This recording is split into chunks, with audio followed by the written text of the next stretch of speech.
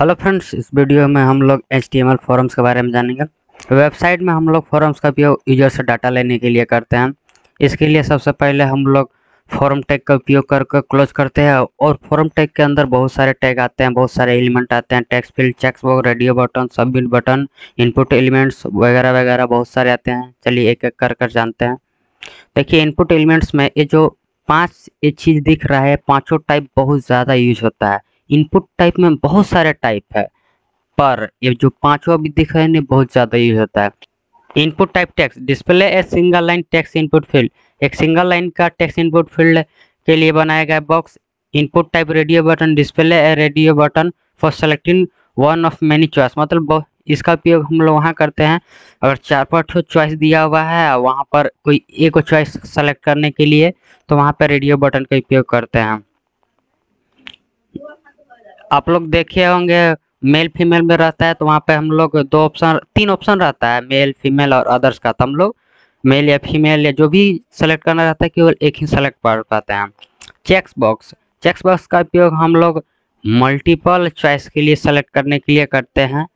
आपको अगर कोई मान लीजिए कि कि आपको कौन कौन सा प्रोग्रामिंग लैंग्वेज आता है कोई वेबसाइट में दिया हुआ है और वहाँ पर लिखा है C C plus plus Java JavaScript तो आपको दो तीन ठो लैंग्वेज आता होगा तो दो तीन ठो लैंग्वेज को सेलेक्ट कर सकते हैं। और एक बार ध्यान रखिएगा चेक्स बॉक्स का प्रयोग वहाँ बहुत सारे वे, वेबसाइट में I accept this privacy policy के लिए वहाँ पर भी इसका प्रयोग किया जाता है। Submit button display submit button एक बटन बना देता है जो सबमिट करता है डाटा को।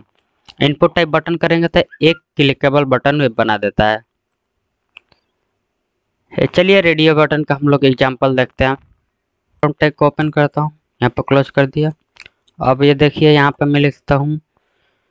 यहाँ पे मेल के लिए मैं बना रहा हूँ मेल और यहाँ पे इनपुट यहाँ पे देखिए टाइप में टेक्स्ट है तो इसको हम लोग रेडियो कर देंगे। रेडियो करने के बाद इसको मैं कॉपी करता हूँ। यहाँ पे मैं पेस्ट कर देता हूँ। यहाँ पे मैं फीमेल कर देता हूँ। सेव कर देता हूँ। कॉपी पाथ करता हूँ। और यहाँ पे पेस्ट कर देता हूँ। ये देखिए आ गया मेल, फीमेल आ गया। ये देखिए दोनों सेलेक्ट अभी हो रहा है। क्योंकि अभी दोनों में से कोई एक ही सेलेक्ट होता है। ऐसा क्यों हो रहा है? तो उसके लिए हम लोग क्या करेंगे? यहाँ पे नेम पास करेंगे नेम एट्रीब्यूट और हम लोग किसके लिए बना रहे हैं? तो जेंडर के लिए बना रहे हैं। ठीक है? और इसमें भी नेम हम लोग बता रहे हैं जेंडर के लिए। ये समझ जाएगा कि ये जेंडर जेंडर ये दोनों एक दूसरे से लिंक है। तो एक बार में एक ही कोई सेलेक्ट करेगा। देखिए, ये फीमेल है मेल है, ये वाला हट गया। अभी देखिएगा तो यहाँ पर क्लिक करने के बाद सेलेक्ट नहीं हो रहा है। ये देखिए, छोटा है, किसी किसी को प्रॉब्लम हो जाता है कि अगर हम फीमेल वर्ड जो लिखा है, अभी तक तो चेक बॉक्स पर क्लिक करने पा रहा था। हम चाहते हैं यहाँ पर क्लिक करें, तब आए तो उसके लिए हम लोग क्या करते हैं? उसके लिए हम लोग लेवल टैग का उपयोग करते हैं। लेवल टैग में दो एट्रीब्यूट होता है फोर और फॉरम देखिए फोर टैग का उपयोग करते हैं जब आपको फॉरम टैग के अंदर कोई डाटा रहता है उसके लिए, और फॉरम टैग के उपयोग जब फॉरम टैग के बाहर रहता है, उसके लिए प्रयोग करते हैं। इसमें हम लोग आईडी पास कर देते हैं वैल्यू में। देख लीजिए फॉरम टैग है, इसको हम लोग लेबलिंग कर देंगे। किस चीज़ को? यहाँ पर देखिए फीमेल लिखा हुआ है फीमेल को हम लोग लेबल कर दिया। फीमेल पर क्लिक करते ही वो आपको ऑटोमेटिक है सेलेक्ट हो जाएगा। यहाँ पर भी कर देंगे। यहाँ पे देखिए, जब फॉर्म के बाहर है, यहाँ पे देखिएगा लेवल के अंदर, यहाँ पे फोर में फीमेल लिखे हैं। पर इनपुट में देखिएगा आईडी में भी फीमेल है। यहाँ वाला आईडी इसमें पास कर देते हैं। और यहाँ इसमें देखिए फॉर्म टैग के बाहर है लेबल तो ये इसमें आईडी है फॉर मेल और इसके फॉर्म किस फॉर्म के इसमें फॉर्म का भी नाम दे देते हैं, किस फॉर्म का? फॉरम वन फॉरम का नाम भी दे देते हैं, अगर बाहर रहता है तो। आई किस लिए? है फॉर्मेल के लिए बन रहा है। समझ गए?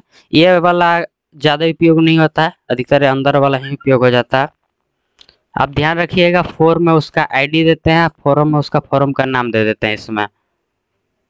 अब देखिए, हमको चाहिए कि मेल पर क्लिक करते के साथ ही क्लिक हो तो उसके लिए हम लोग लेवल टैग को शुरू करेंगे।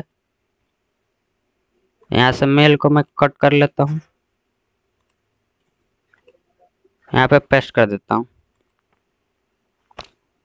और यहाँ पे फोर में क्या करेंगे, इसमें सबसे पहले यहाँ पे आईडी दे देते हैं। आईडी में क्या देता हूँ, मैं लिख देता हूँ एम चाहे मेल भी लिख सकते हैं। यहाँ पे फोर में एम लिख देता हूँ। और यहाँ पे मैं लेबल टेक्स्ट शुरू करता हूँ। मैं कट करता हूँ। पेस्ट कर देता हूँ। अब यहाँ आईडी दे देता हूँ। आईडी में लिख देता हूँ। एफ़ जो आईडी में कुछ भी लिख सकते हैं, वही इसमें भी लिख देना। ठीक है? अब मैं सेव करता हूँ। सेव करने के बाद रिफ्रेश कर देता हूँ। अब देखिए, यहाँ पर क्लिक करूँगा तो सेलेक्ट हो जाएगा। हो गया ना? यहाँ पर भी। अब इसमें भी सेलेक्ट हो जाएगा, इसमें भी हो जाएगा। बस इसका यही काम था। देखिए टेक्स्ट फ़ील्ड इसके लिए हम लोग इनपुट टाइप टेक्स्ट लिखते हैं तो ए सिंगल लाइन का इनपुट फ़ील्ड आ जाता है। ये ऑटोमेटिक 20 करेक्टर का दिखाई देता है। इनपुट टाइप टेक्स्ट है ऑटोमेटिक टेक्स्ट रह रहा है। अब हम लोग यहाँ से क्या करेंगे? यहाँ पे फ़र्स्ट नेम लेंगे। फ़र्स्ट नेम और यहाँ पे नेम में लिख देते हैं, किस लिए लेते हैं, हम किसके लिए ले रहे हैं? फ़र्स्ट नेम या सेम में पूरे नंबर को पास कर दिए, लिखा हुआ जो भी है, और मैं सेव कर देता हूँ। सेव करने के बाद रिफ्रेश कर देता हूँ। ये देखिए। ये बीस कैरेक्टर का आ गया। अब अगर हम यहाँ पे साइज़ लिख कर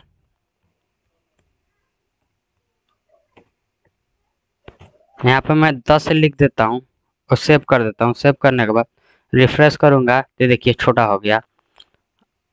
अब इसको नीचे करने के लिए इसको ब्रेक टैक्स हम लोग क्लोज कर देते हैं तो एक लाइन ये नीचे आ जाएगा।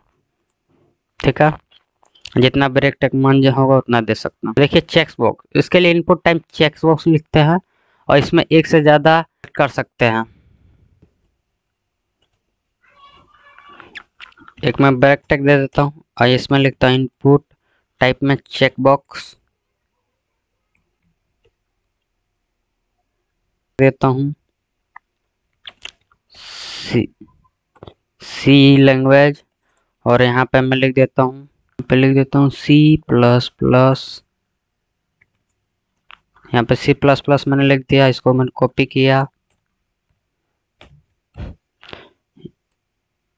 यहाँ पे मैंने लिखा जावा और यहाँ पे मैंने लिखा पाइथन ठीक है, अब इसको नेम में हम लोग नेम पास कर सकते हैं। हमें दे देना है किसके लिए हम लोग बना रहे हैं।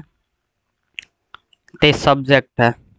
या कुछ भी, इसका सेम सी प्लस प्लस भी अगर पास कर दीजिएगा तो कोई दिक्कत नहीं है, क्योंकि सी प्लस प्लस के लिए हम लोग कर रहे हैं। नेम में हम लोग दे देंगे जावा और यहाँ नेम में दे देंगे पाइथन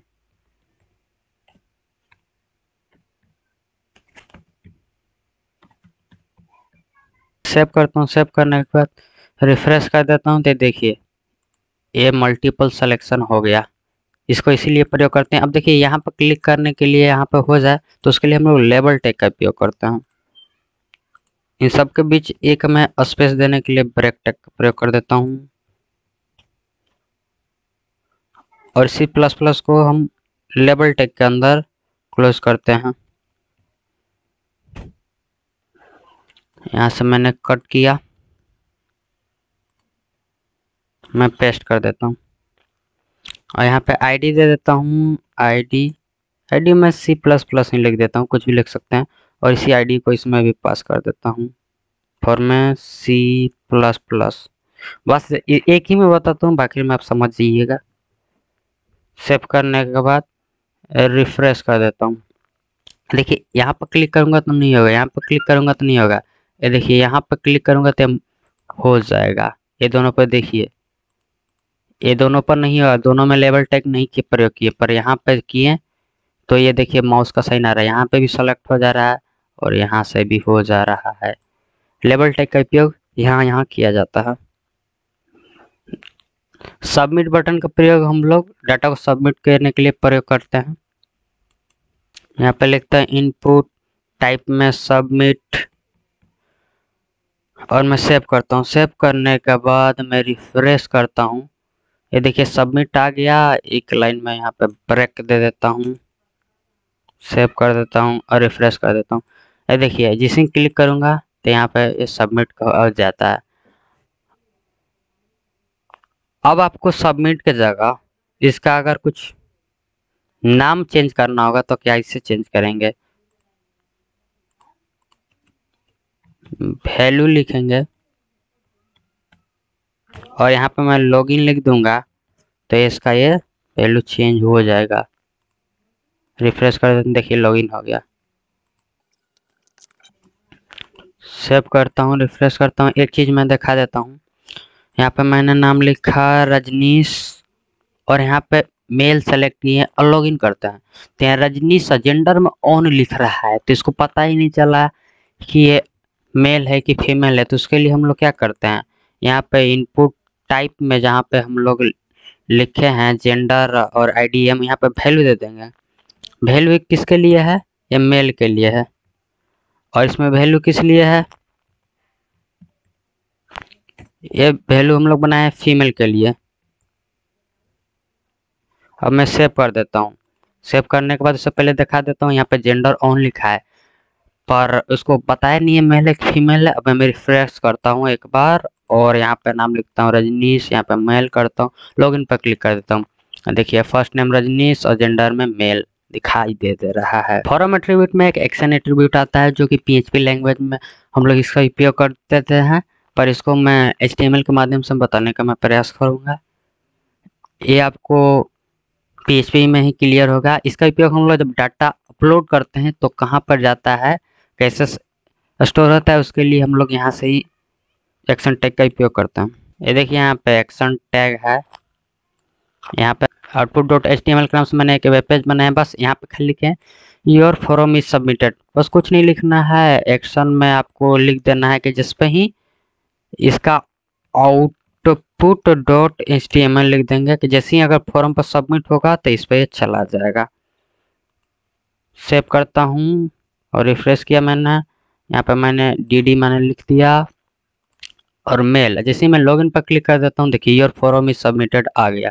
ठीक है? अब देखिए इसके इतने सारे एट्रीब्यूट और वैल्यू हैं। ये चीज़ आपको नोटिस किया होंगे एंकर टैग में होता है। तो उसके लिए हम लोग क्या करते हैं? बस टारगेट में दे दीजिएगा उसको ओपन कराने के लिए कि हाँ ओपन करा रहे हैं। तो पारा पर आप सभी इसको उपयोग कीजिएगा। मैं एक बता देता हूँ। यहाँ पर मैंने टारगेट लिखा और स्लेस ब्लैंक मैं सेव करता हूँ। सेव करने के बाद यहाँ पे मैंने रिफ्रेश किया।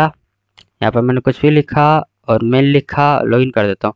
ये देखिए, यहाँ पे ये सेम रह गया, पर ये नया पेज में खुला और योर फॉर्म इज़ सबमिटेड हो गया। ठीक है? मेथड एट्रीब्यूट मेथड एट्रीब्यूट में दो एट्रीब्यूट होते हैं। इसमें एक आता है गेट और एक पोस्ट गेट मेथड का उपयोग 2048 कैरेक्टर तक ही यूआरएल का लिमिट होता है। या सेंसिटिव डाटा को अपलोड करने के लिए प्रयोग नहीं किया जाता है या सिक्योर नहीं होता है, जबकि पोस्ट डाटा सिक्योर होता है और इसमें कोई लिमिटेशन नहीं होता है। और ये सिक्योरिटी पर्पज से बहुत अच्छा माना जाता है। चलिए दोनों में क्या अंतर है जानते हैं। अब यहाँ पे देख लीजिए उससे पहले मैं एक और चीज़ बता देता हूँ। इनपुट में मैंने लिखा और टाइप में यहाँ पर मैंने पासवर्ड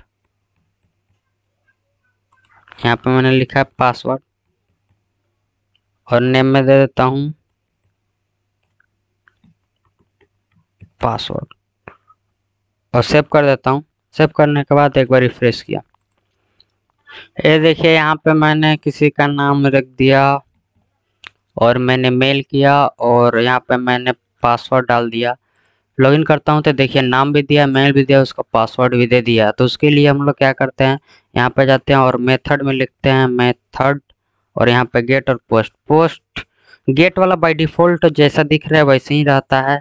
उसमें डाटा दिखाई दे देता है, पर पोस्ट में नहीं दिखाई देता मैंने सेव किया, अब मैं रिफ्रेश कर देता हूँ और यहाँ पे मैंने, यहाँ पे नाम दिया मेल दिया और यहाँ पे मैंने पासवर्ड दिया। और जिसी में करता हूँ इसको मैं एक बार कट कर लेता हूँ। अब मैं यह कॉपी बात करते हैं, क्योंकि ये कुकीज़ में डाटा स्टोर हो जाता है, इसीलिए नहीं हो पाता है।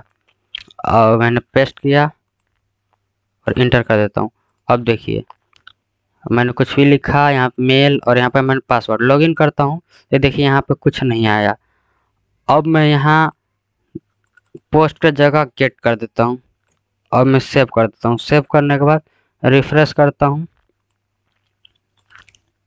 यहाँ पे मैंने नेम दिया मेल दिया और यहाँ पे मैंने पासवर्ड में कुछ भी दे दिया। लॉगिन करता हूँ। ये देखिए, ये सब दिखाई दे रहा है। बस गेट पोस्ट में यही अंतर है। हम लोग अधिकतर पोस्ट का प्रयोग करते हैं सेंसिटिव डाटा लेने के लिए।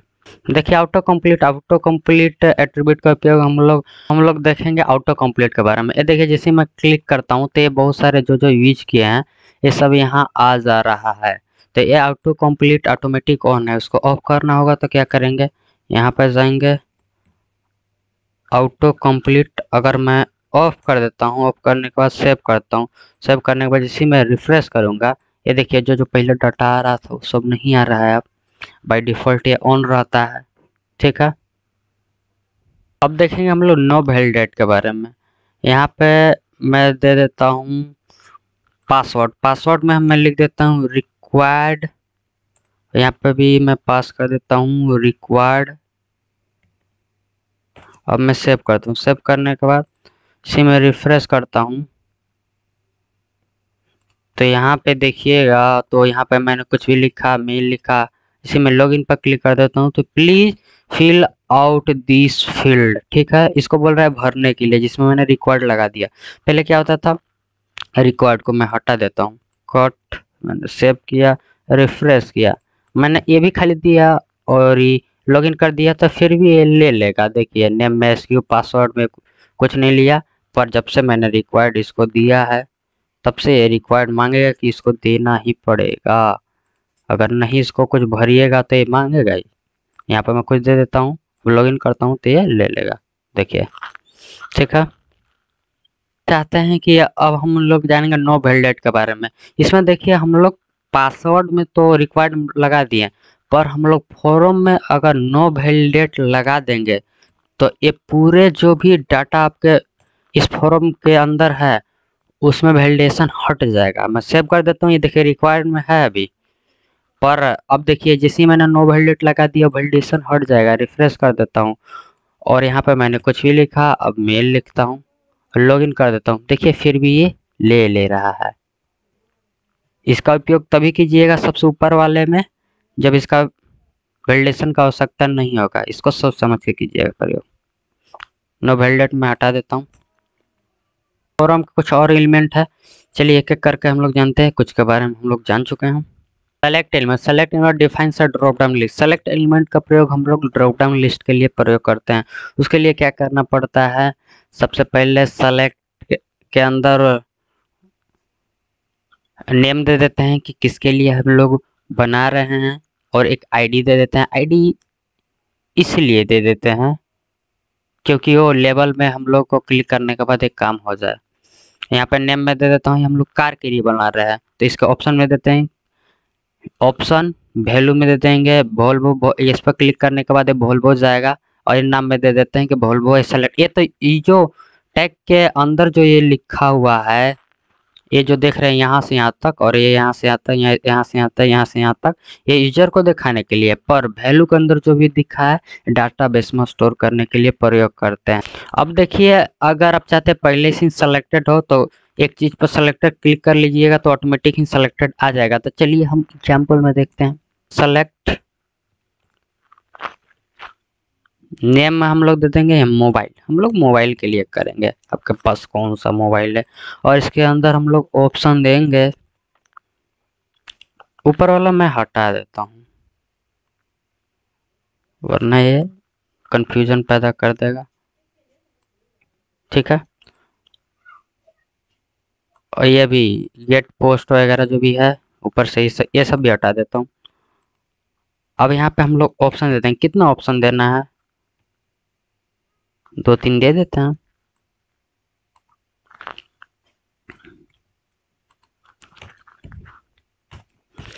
अब इसके अंदर जो भी लिखेंगे वो यूज़र को दिखाने के लिए। और इसके अंदर वैल्यू के अंदर जो भी जाएगा वो डाटाबेस में स्टोर करने के लिए, ठीक है? यहाँ पे मैं ओपन लिख देता हूँ, ये यूज़र देखेगा इसके अंदर। वीवो लिख देता हूँ, ये तो यूज़र देखेगा, पर वैल्यू के अंदर ये डाटाबेस में स्टोर करने के लिए। अब हम लोग इसको सेव करेंगे। सेव करने के बाद, देखिए मैंने लेबल नहीं लगाया। मैंने लेबल टैग नहीं प्रयोग करता हूँ अभी। देखिए यहाँ पे सेलेक्ट हो रहा है। लेबल आप लोग प्रयोग कर लीजिएगा। Oppo Vivo M I select हो रहा है। अब चाहते हैं कि किसी में पहले से ही सेलेक्टेड हो? मैं चाहता हूँ कि ये ओप्पो वाला में पहले से सेलेक्टेड हो।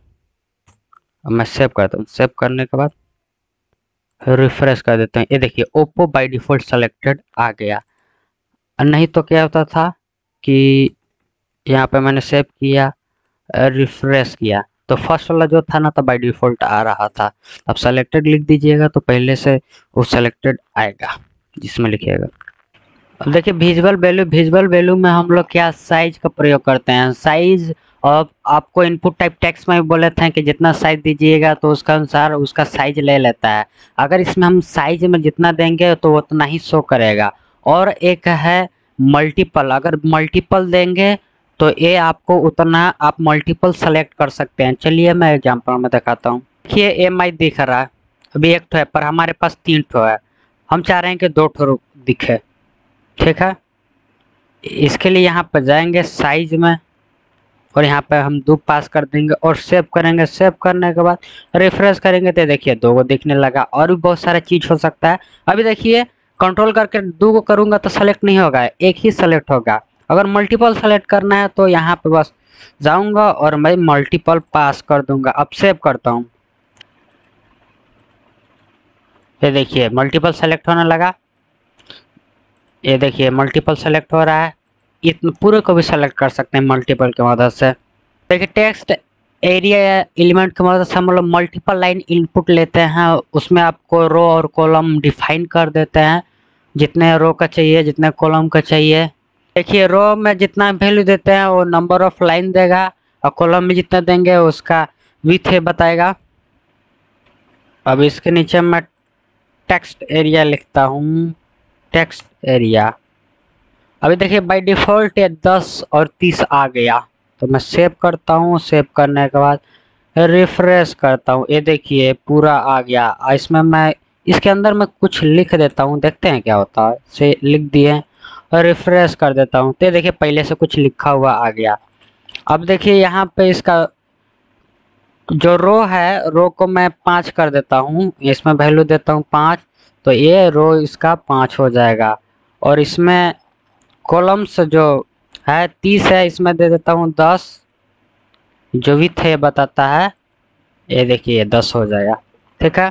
देखिए, बटन एलिमेंट बटन एलिमेंट का उपयोग हम लोग अधिकतर जावास्क्रिप्ट की मदद से करते हैं। तो मैं केवल बटन बनाना बता देता हूँ। जब जावास्क्रिप्ट पढ़िएगा, तब इसका उपयोग करिएगा। देखिए, बटन एलिमेंट के बारे में जानेंगे। देखिए डायरेक्ट बटन लिखिएगा तो उससे भी बटन बन जाएगा। जनरली वैसे ही प्रयोग कर लेते हैं। इसमें टाइप में भी बटन पास कर दीजिएगा तो ये हो जाएगा। इसे मैं दिखा देता हूँ आपको क्या कहना चाह रहा हूँ मैं। मैंने बटन लिखा। बटन यहाँ पे लिखा क्लिक सेव कर दे रहा हूँ। सेव करने के बाद रिफ्रेश करता हूँ। ये देखिए बॉटम बन गया। ठीक है? मैंने जूम किया था। अब इसमें वैल्यू में पास कर देता हूँ, भले टाइप में। टाइप क्या है? बटन है। बस मैं सेव कर देता हूँ। ये हमारा perfect H T M L five के अनुसार बटन बन गया। देखिए field set and legend element इसका उपयोग हम लोग ग्रुप करने के लिए डाटा को करते हैं और फ़ील्ड सेट का प्रयोग और लीजेंड का उसका कैप्शन देने के लिए प्रयोग करते हैं। चलिए मैं बताता हूँ। अभी हमारे पास ये क्या है? नहीं, हम लोग को कुछ एक फॉर्म बनाना पड़ेगा। मेरे पास है कोई फॉर्म का इंडेक्स हाँ ये वाला देखिए इंडेक्स डॉट एक्स एल इसको मैं कॉपी पात करता हूँ। मैंने पहले से फॉर्म बना रखा है। पुराना वीडियो में मैंने दिखाया था। अब मैं क्या करता हूँ? अब मैं चाहता हूँ कि ये जो मेल और फीमेल है ये जो नाम और मेल फीमेल जो लिखा है, ये पर्सनल डाटा में मैं रखना चाहता हूँ। और ये जो है एम आई वगैरह अदर डाटा में रखना चाहता हूँ। तो उसके लिए हम लोग इसका प्रयोग करते हैं। इसके लिए कुछ नहीं करना है। हम लोग को यहाँ पे सबसे पहले तो फॉर्म के नीचे फ़ील्ड सेट लिखना है एफ़ आई फ़ील्ड सेट और यहाँ से जो क्लोज हुआ फ़ील्ड सेट इसको कट कर लेते हैं। कट करने के बाद हम लोग कहाँ तक इसको सेलेक्ट करेंगे? मेल फीमेल तक हाँ। ये देखिए, यहाँ तक। इसको मैं रिफ्रेश कर देता हूँ। देखिए, अभी ऐसा आ गया। अब ये तो अलग से इसका डिज़ाइन बना दिया, पर इसका हम चाहते हैं कि इसका हम लोग हेडिंग दे दे। इस सेक्शन में किस चीज़ का डाटा ले रहे हैं? तो उसके लिए हम लोग फ़ील्ड सेट के नीचे लीजेंड लिखेंगे।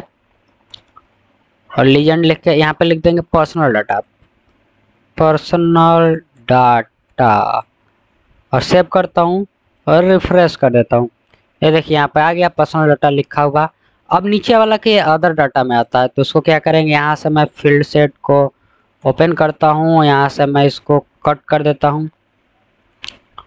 और नीचे फॉर्म जहाँ बंद हो रहा है, उसको ऊपर मैं इसको क्लोज कर देता हूँ। और यहाँ पे लीजेंड टैग को शुरू करता हूँ, इसका मैं लिख देता हूँ अदर ठीक है? सेव करता हूँ। और रिफ्रेश कर देता हूँ। ये देखिए अदर में आ गया। बस इसका यही काम था। ये देखिए इनपुट टाइप बहुत सारे इनपुट टाइप है। अब देखिए क्या है। मैंने बताया था पहले के वीडियो में कि कुछ की पाँच इंपॉर्टेंट है, इसके बाद बहुत सारे भी है। देखिए, यहाँ टाइप में बटन लिखिएगा तो बटन हो जाएगा। चेक्स बॉक्स से बात कर लिए कलर लिखेंगे तो एक कलर का डब्बा जैसा खुलेगा, उसमें कलर सेलेक्ट कर सकते हैं। डेट के लिए है डेट टाइम लोकल के लिए है, इसको ईमेल सेलेक्ट कीजिए तो ईमेल ले सकते हैं। फ़ाइल सेलेक्ट कीजिएगा तो फ़ाइल ले सकते हैं। देखिए फ़ाइल वाला में अगर आप मल्टीपल सेलेक्ट कर लीजिएगा ना बगल में तो इससे मल्टीपल फ़ाइल सेलेक्ट कर सकते हैं। हो सकता है मैं एग्ज़ाम्पल में ना बता पाऊँ पर यहाँ पे मैं बता दे रहा हूँ। हिडन का प्रयोग जिसमें कीजिएगा तो हिडन हो जाता है। टाइप में इमेज करिएगा तो इमेज आपको सेलेक्ट करने को मिलेगा। इसमें मंथ है नंबर है पासवर्ड है रेडियो रेंज में रेंज मिलेगा। रिसेट रिसेट बटन वहाँ प्रयोग होता है। जब क्लिक करते हैं तो डाटा पूरा फोरम में देखा होगा रिसेट हो जाता होगा। अगर सर्च बॉक्स चाहिए तो उसके लिए सर्च लिखते हैं सबमिट बटन वाला बता दिए हैं। ये टेलीफोन वाला है टेक्स्ट वाला है टाइम के लिए यूआरएल लिखेंगे तो इसमें केवल यू मांगा और ये वीक के लिए है। एक एक करके चलिए एग्ज़ाम्पल जानते हैं ये बाय डिफ़ॉल्ट टैक्स ही आता है लिखा, पर उसके अंदर हम लोग चेंज करते हैं। देखिए, सबसे पहले इनपुट टाइप टैक्स तो हम लोग देख लिए और टाइप पासवर्ड पासवर्ड लिखेंगे तो बस पासवर्ड माँगता है। पीछे के वीडियो में हम लोग देखे चुके हैं। इनपुट टाइप सबमिट सबमिट वाला भी तो हम तो बता ही दिए हैं। बस सबमिट डाटा हो जाता। है हाँ input type reset reset define reset button that will reset all form value their default value देखिए रिसेट बटन का जब भी आप क्लिक करेंगे तो जो भी डाटा आपके फॉर्म में भरा होगा, वो ऑटोमेटिक हटा देगा। चलिए देखते हैं। अब मैं इसके नीचे आ जाता हूँ। यहाँ पे लिखता हूँ इनपुट टाइप में लिखता हूँ रिसेट और मैं सेव करता हूँ। सेव करने के बाद रिफ्रेश करता हूँ। अब देखिए, यहाँ पे मैंने कुछ लिखा है। यहाँ पे मैंने कुछ लिखा यहाँ पे कुछ लिखा अब जैसे मैं रिसेट पर क्लिक करूँगा, पूरा डाटा रिसेट हो जाएगा। ठीक है? ये आप कहीं फॉर्म अप्लाई कर रहे होंगे तो देखें भी होगा। ये देखिए इनपुट टाइप कलर कलर का उपयोग ये देखिए इसका आपको जावास्क्रिप्ट में मैं कई प्रोजेक्ट बनाए हो तो वहाँ पे इसका प्रयोग होता है, पर मैं बता दे रहा हूँ।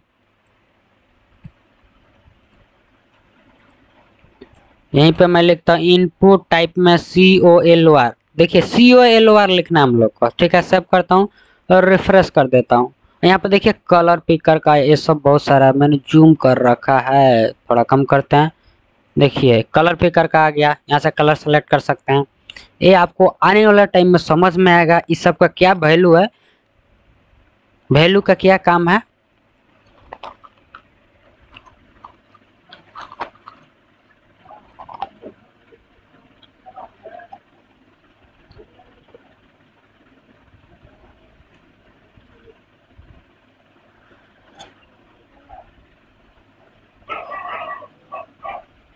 Mesela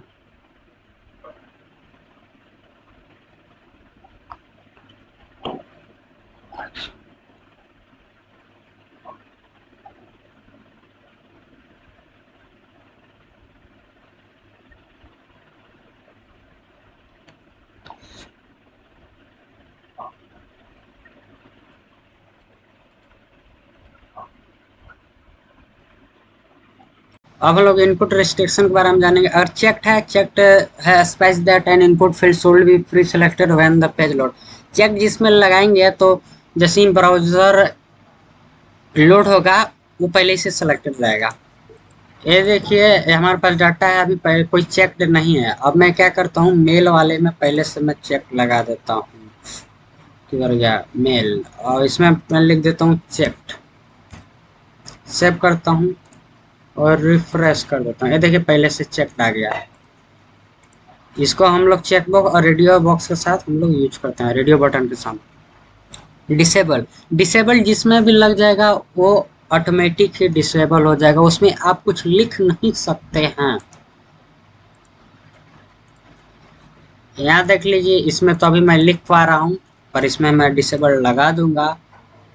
देखिए फ़र्स्ट नेम में अगर मैं लिख दूँ डिसेबल्ड और मैं सेव करता हूँ। सेव करने के बाद रिफ्रेश कर देता हूँ। ये देखिए डिसेबल हो गया। अब मैं इसके अंदर कुछ नहीं लिख सकता हूँ। मैक्स मैक्स और मिनिमम हम लोग जब रेंज में बताऊँगा, तब मैं बताऊँगा। और पैटर्न ये रेजिक एक्सप्रेशन है, जो हम लोग फॉर्म रिलेशन में यूज़ करते हैं। और रिक्वायर्ड का उपयोग तो हम बता दिए जिसमें रिक्वायर्ड लगा रहेगा। तो वो उसमें आप क्लिक करिएगा सबमिट के साथ तो ऑटोमेटिक इरर आएगा, अगर उसमें कुछ भरा नहीं रहेगा तो। साइज़ तो बता दिए, उससे बड़ा छोटा होता है, जो इनपुट का बॉक्स रहता है। और स्टेप्स भी, वो रेंज वाला बताएँगे। वैल्यू तो बताइए दिए हैं कि उसमें जो वैल्यू लिखेंगे, वो आ जाएगा। स्टेप्स में वो होता है कि जितना स्टेप दीजिएगा, उतना उतना बढ़ते जाएगा। मैं बता रहा हूँ। देखिए मैक्स लेंथ हम लोग देख लेते हैं। इसको मैं पहले डिसेबल हटा देता हूँ। और मैं सेव करता हूँ। सेव करने के बाद रिफ्रेश करता हूँ। इसमें देखिए, बहुत लिख सकते हैं, जितना मन इतना। अगर मैं यहाँ पे लगा दूँगा मैक्स और लेंथ और यहाँ पे लिख दूँगा दो तो इसमें दो से अब ज़्यादा लिखाएगा ही नहीं। देखिए, दो से ज़्यादा लिखाएगा ही नहीं, ठीक है? अब देख लेते हैं हम लोग रीड ओनली का example specify that an input field is read only जिसमें इनपुट फ़ील्ड में हम लोग रीड ओनली लिख देंगे, वो रीड केवल पढ़ने के लिए वो रह जाता है। जिससे किसी को मैंने इसको मैक्स लिंक आता हूँ और यहाँ पे रीड ओनली लिखता हूँ। सेव करता हूँ रिफ्रेश करता हूँ। अभी तो कुछ पता नहीं चल रहा है। रीड ओनली मैंने जिसमें लिखा अब देखिए, इसके अंदर मैं कुछ नहीं लिख पा रहा हूँ। रीड ओनली के बावजूद भी मैं देखिए रीड ओनली को हटा देता हूँ। तो मैं सेव कर देता हूँ। अब देखिए, मैं लिख पा रहा हूँ। अब रीड ओनली का काम क्या है कि जो रीड ओनली में जो भी दीजिएगा वो बस पढ़ने के लिए रह जाएगा, उसके अंदर कुछ आप नहीं कर सकते हैं। हाँ अगर आपको कुछ शो कराना है तो आप कर सकते हैं वैल्यू की मदद से। चलिए वैल्यू का एग्जांपल भी हो गया, और राज में सेव किया। और बस, ये देखिए, राज आ गया। अब इसके अंदर मैं काट कॉपी नहीं कर सकता, बस वाले कॉपी यहाँ से कर सकता हूँ, देखिए कॉपी करके पेस्ट कर सकता हूँ। ठीक है? इनपुट टाइप डेट इसका उपयोग हम लोग यूज़र से डेट लेने के लिए प्रयोग करते हैं। ये देख लीजिए मिनिमम मैक्सिमम भी इसी में मैं बता देता हूँ मिनिमम कहाँ से कहाँ तक रहेगा, इसमें कितना डेट से कब तक आपको लेना है, उसको भी हम लोग इसमें ले सकते हैं। यहाँ पे लिख देता हूँ इनपुट टाइप में डेट लिख देता हूँ डेट और सेव कर देता हूँ सेव करने के बाद रिफ्रेश कर देता हूँ। ये देखिए, अभी मैं जहाँ मन तहाँ जितना मत जितना कर सकता हूँ, बाईस, तेईस, चौबीस, पच्चीस, ठीक है? पीछे भी मैं जा सकता हूँ दो हज़ार सात तक में चला गया। अब मैं क्या कर देता हूँ? अब देखिए मैं मिनिमम लिखता हूँ। मिनिमम लिखने के बाद मैं 2020 दसवा महीना और 10 तारीख। अब मैं इससे नीचे आएगा नहीं, इसको करेंगे तो। तो मैं रिफ्रेश कर देता हूँ। देखिए 2020 या अक्टूबर। अब उससे नीचे आएगा नहीं। दस तारीख लिखे थे, देखिए मैं नौ तारीख भी नहीं सेलेक्ट कर पा रहा हूँ।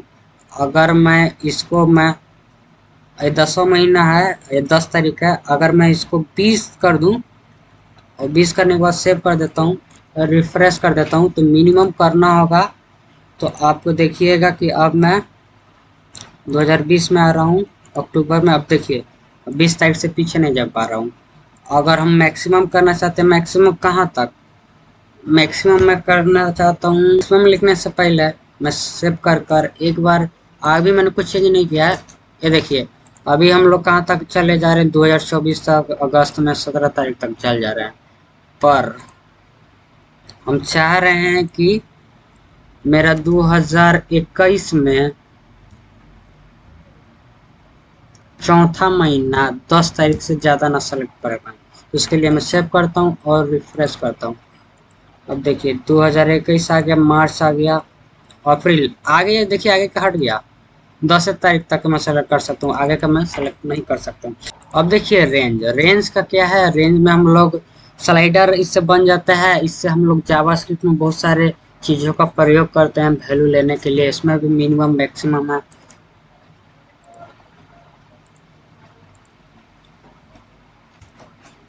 इनपुट टाइप में मैं लिख देता हूँ रेंज मैंने सेव किया और मैंने रिफ्रेश किया। अभी देखिए, यहाँ तक है, पर अगर मैं मिनिमम कर देता हूँ मिनिमम कर देता हूँ, मैंने किया ज़ीरो और मैक्सिमम कर दूँगा एक हज़ार, ठीक है? और मैं रिफ्रेश कर देता हूँ। ये देखिए, अभी आपको नहीं पता चल रहा, पर जावास्क्रिप्ट के माध्यम से इसका कोड को एक्सेस कर सकते हैं। इसमें एक और वैल्यू आता है स्टेप स्टेप में आप करिएगा ना तो एक स्टेप पर कितना बढ़े? मैं सौ कर देता हूँ। सौ करने के बाद मैं रिफ्रेश करता हूँ। अगर मैंने, देखिए क्लिक करूँगा तो एक एक स्टेप बढ़ेगा, ठीक है? सौ सौ करके बढ़ेगा। ये आपको जावास्क्रिप्ट में कॉन्सेप्ट क्लियर होगा। मेरा जावास्क्रिप्ट का प्रोजेक्ट देखिएगा, उसमें मैंने बताया है। ये देखिए डेट टाइम लोकल है इससे डेट टाइम लोकल आप ले सकते हैं, इसको मैं मैंने बता रहा हूँ। देखिए इनपुट टाइप ईमेल है। ईमेल से आपको, इसमें से आप ईमेल लेते हैं, अगर विदाउट ईमेल का रहेगा तो आपको एरर शो करने लगेगा। देखा तुम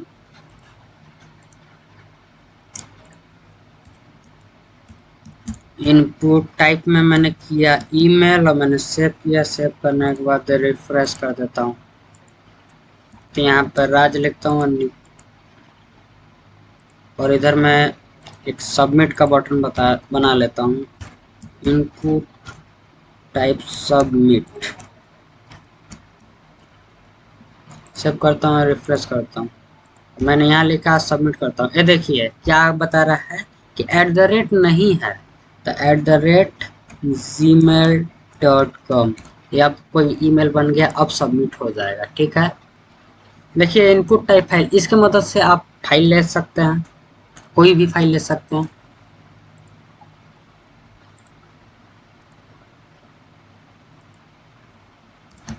ब्रेक मैंने दे दिया और इनपुट टाइप में मैंने फ़ाइल दे दिया। फ़ाइल देने के बाद सेव करता हूँ और यहाँ पे मैं रिफ्रेश करता हूँ। ये देखिए चूज़ का ऑप्शन आ गया और मैं ब्रेक टैग दे देता हूँ।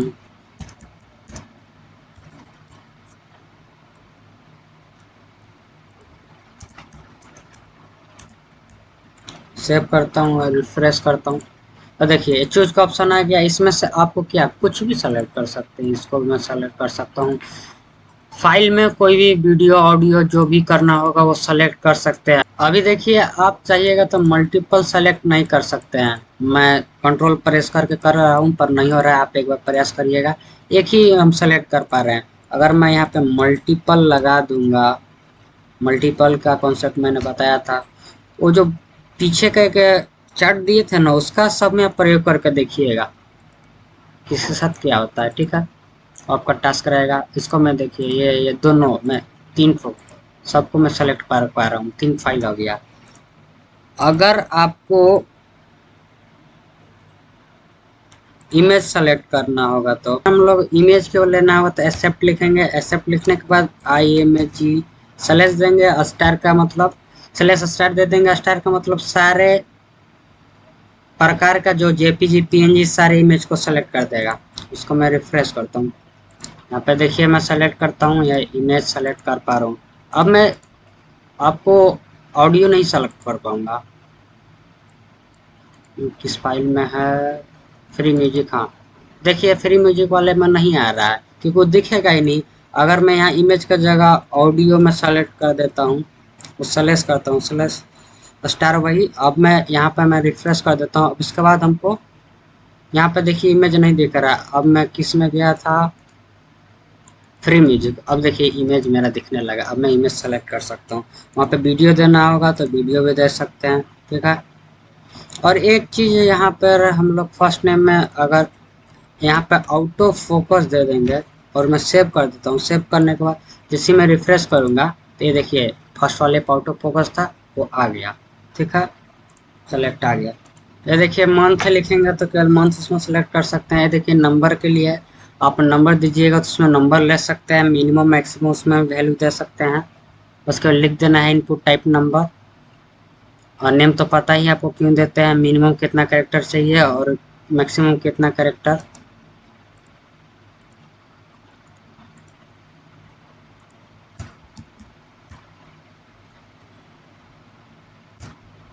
यहाँ पर मैं लिखता हूँ नंबर।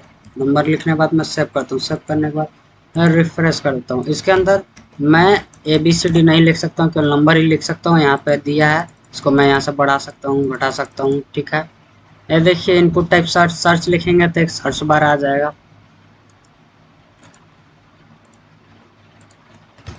इनपुट टाइप में लिखता हूँ सर्च सर्च लिखने के बाद मैंने सेव किया। सेव करने के बाद मैं रिफ्रेश कर देता हूँ। ये देखिए सर्च करने वाला आ गया। देखिए, यहाँ पर काट कुट का निशान आ गया।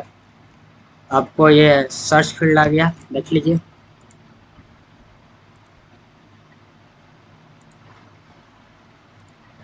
ये देखिए टेलीफोन वाला इनपुट टाइप टेल लिखिएगा तो टेलीफोन आ जाएगा। पैटर्न रेजेक्स का है, हम आगे बताएँगे।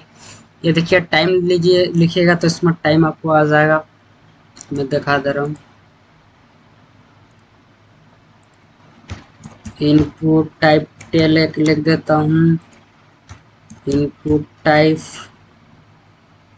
टाइम और मैं सेव करता हूँ। सेव करने के बाद मैं रिफ्रेश करता हूँ। देखिए, यहाँ पर टाइम के लिए आ गया, ठीक है? और टेलीफोन के लिए है। इसमें टेलीफोन में आप दोनों सेलेक्ट कर सकते हैं। वहाँ पे इसलिए सेलेक्ट कर पा रहे हैं क्योंकि टेलीफोन में हम लोग को पैटर्न देना पड़ता है। ये देखिए, अंक के फॉर्मेट में उनको देना पड़ता है। रेजेक्स में बताएँगे। ये देखिए इनपुट टाइप यू इसमें हम लोग यू ही लेते हैं। या अधिकतर आप कोई फॉर्म अप्लाई कर रहे हैं तो वहाँ पे यू माँगता है। यानी कि अगर आप यूट्यूबर होंगे तो आप इससे रिलेट ज़रूर कर पा रहे होंगे, क्योंकि जहाँ पर भी यू माँगता है कि आप अपने चैनल का यूआरएल हमको दे दीजिए तो वहाँ पे इसी का प्रयोग कर देता है। इसी फ़ील्ड से वो यूआरएल आपसे लेते हैं। देखिए, मैंने ये लिख दिया। ऐसे ही अब मैं सबमिट कर देता हूँ। तो नहीं ले रहा, क्योंकि enter please enter your valid you मांग रहा है, ठीक है? अब देखिए, ऊपर वाला मैंने यू को कॉपी कर दिया तो ये काम कर गया ऐसे करिएगा तो ये काम नहीं करेगा यू का ये काम है। देखिए विक लिखिएगा तो विक का आ जाएगा। वैल्यू वाला तो हम बताइए दिए जो वैल्यू में रहता है वो दिखेगा रीड ओनली वाला भी हम लोग बता चुके हैं, पीछे उसे लिख दीजिए, वो पढ़ने के लिए रहता है। डिसेबल्ड में डिसेबल हो जाता है साइज़ में साइज़ बढ़ाने के लिए। मैक्स लेंथ भी हो गया मिनिमम मैक्सिमम भी हो गया। मल्टीपल भी सेलेक्ट करना प्लेस होल्डर हाँ प्लेस होल्डर नहीं बताया अभी। यहाँ पर देख लीजिए यहाँ पे यहाँ पे दिखना है। प्लेस होल्डर में वो न एक चीज़ हम लोग लिखते हैं कि यहाँ पे लिख देंगे इंटर योर नेम। तो आपको दिखेगा हल्का मैं दिखा देता हूँ एग्ज़ाम्पल में अच्छे से समझ में आएगा। ये आउट ऑफ़ फोकस में हटा देता हूँ। यहाँ पे लिखता हूँ placeholder placeholder enter name enter name save करता हूँ। सेव करने के बाद रिफ्रेश करते हुए देखिए हल्का टेक्स्ट देखा। जैसे मैं क्लिक करूँगा, वो टेक्स्ट पर जैसे लिखा, वो टेक्स्ट गायब हो गया। ठीक है? बस इसका यही काम है। कहीं कहीं दिखाना है तो interview date interview mobile number ये सब के लिए वहाँ पर प्रयोग करते हैं। रिक्वायर्ड भी बता चुके हैं स्टेप्स भी हो गया आउट ऑफ़ फोकस भी हो गया हाइट एंड विथ तो हाइट एंड विथ तो पता ही है किसका हाइट एंड विथ बढ़ाना रहता है। List attribute The input list attribute refers to a data list element that contains predefined option for an input element. देखिए, list attribute का हम लोग एक प्रीडिफाइंड लिस्ट के लिए प्रयोग करते हैं। सबसे पहले फ्रंट टैग ओपन कर क्लोज कर देते हैं और यहाँ पे इनपुट में लिस्ट लिखते हैं। लिस्ट में यहाँ पर वो चीज़ लिखते हैं जो कि डाटा लिस्ट में हम लोग आईडी के तौर पर जो चीज़ दिए हैं। यहाँ पे नीचे देखिएगा ऑप्शन में बहुत सारे है हम लोग बनाए हैं। ये सब ब्राउज़र है। ब्राउज़र के लिए हम लोग बनाए हैं तो ये सब ब्राउज़र यहाँ पे लिख दिए हैं और इसी आईडी को लिस्ट में पास कर दिया चलिए एग्ज़ाम्पल में देखते हैं। मैं कौन वाला में करता हूँ? ये इस वाला इस वाला में कॉपी पास करता हूँ इसको और इसमें आता हूँ। इसमें बहुत कचड़ा हो गया है। अब इसमें मैंने क्या कर दिया?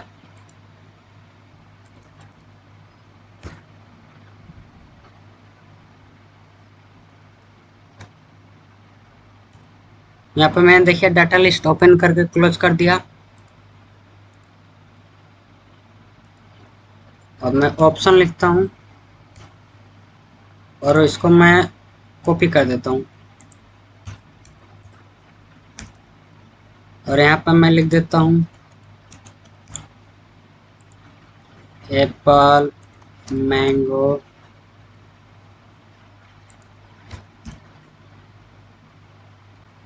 बनाना। अब देखिए वैल्यू में इसी, उसका वैल्यू देते हैं, इसी वाले को सेम पास करते हैं। जब हम लोग अपलोड करते हैं